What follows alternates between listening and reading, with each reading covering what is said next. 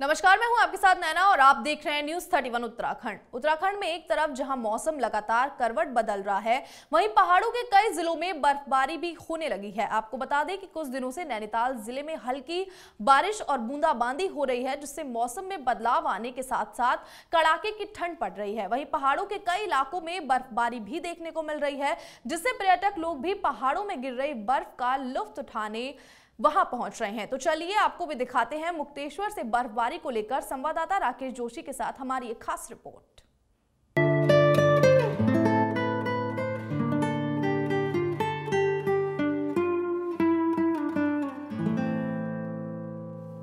उत्तराखंड में एक बार फिर मौसम ने करवट बदल ली है। आपको बता दें लगातार जिस तरीके से झमाझम जो मूसलाधार बारिश हो रही है तो हम इस समय पहुँचे हुए हैं। मुक्तेश्वर पे देख सकते हैं मुक्तेश्वर में जो है बर्फबारी हुई है तो जहाँ पे तमाम जो सैलानी लोग हैं जो पर्यटक लोग हैं उनमें भी जो है का, काफ़ी उत्साह देखने को मिल रहा है। जिस तरीके से लगातार देख सकते हैं छोटे छोटे बच्चे जो है खेल रहे हैं बर्फ़ के साथ तो लगातार यहाँ जो है जो बर्फ़ है वो बर्फ़ जो है यहाँ पे गिरनी शुरू हो चुकी है। जरा कैमरामैन जो होंगे थोड़ा वहाँ दिखाए वहाँ भी जो है काफ़ी सारी बर्फ़ गिरी है जिसमें जो बाहर से जो पर्यटक लोग आते हैं उनमें जो है कहीं ना कहीं खासा उत्साह देखने को मिल रहा है। और वहीं जो है यहाँ तमाम लोग आए जरा कैमरा में थोड़ा आगे आए दिखाए जिस तरीके से यहाँ छोटे छोटे बच्चे देखो कैसे बर्फ़ के साथ खेल रहे हैं। और यहाँ जो है ज़रा इनसे जानेंगे कि ये कहाँ से आए हैं और कहाँ जो है रहते हैं ये लोग और किस तरीके से इनको मज़ा आ रहा है। बेटा कहाँ से आए हो आप लोग?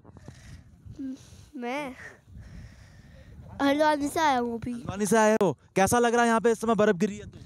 अच्छा लग रहा है। अच्छा लग रहा है? मज़ा आ रहा है? हाँ। बिल्कुल देख सकते हैं छोटे छोटे बच्चे हैं जिनको जो बर्फ़ में खेल रहे हैं काफ़ी उत्साह है इनके अंदर। वहाँ पे हमारे और भी जो लोग हैं भाई साहब कहाँ से आए आप लोग? नोएडा से आए हैं। और कैसा लग रहा है यहाँ पे उत्तराखंड बहुत सुंदर बहुत उत्तम। हम उम्मीद करके आए थे कि बर्फ़ गिरेगी और सुबह सुबह हमको किस्मत से आज बर्फ़ मिल गई।